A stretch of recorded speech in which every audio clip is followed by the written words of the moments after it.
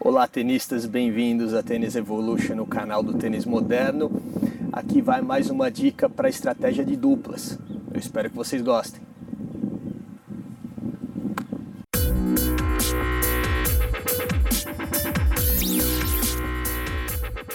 Fala galera, uh, então hoje é um, um, vídeo, na verdade é um, um, vídeo numa série de três vídeos que a turma da galera tá me pedindo bastante no, no, no canal, nas redes sociais, que é sobre estratégia de duplas.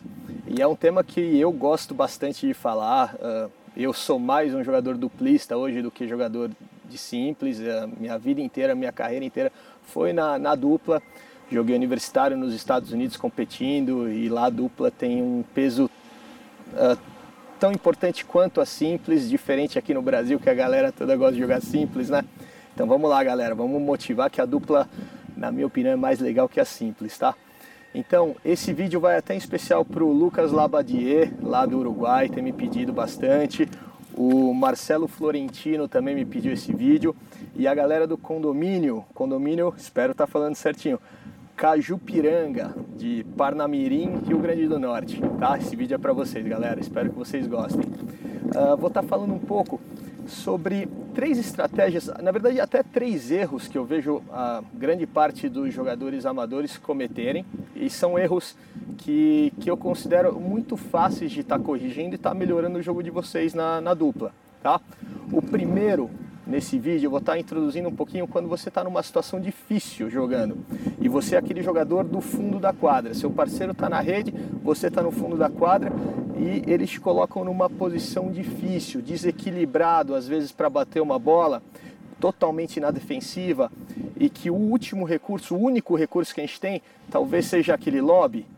Esse lobby tem que ser feito na diagonal em direção ao jogador que está no fundo da quadra.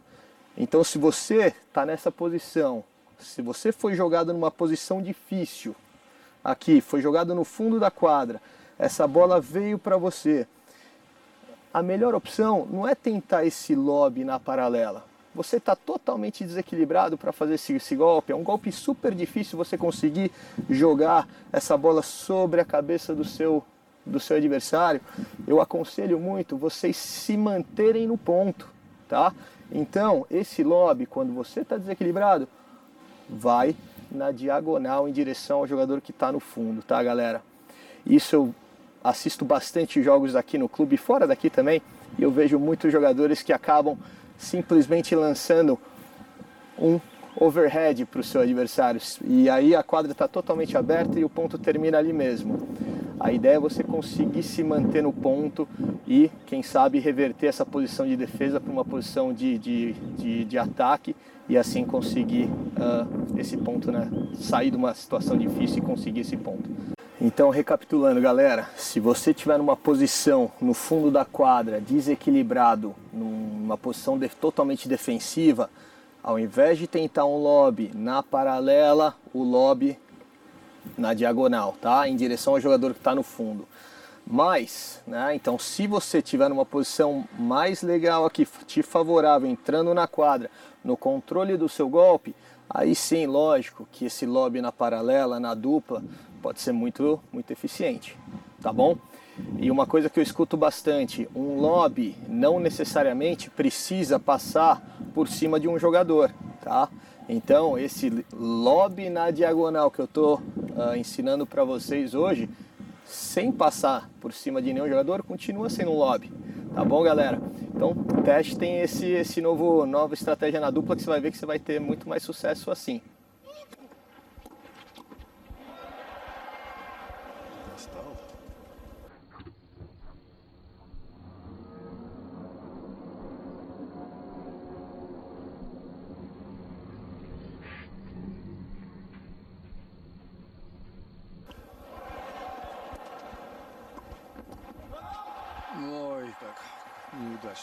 Então é isso, galera.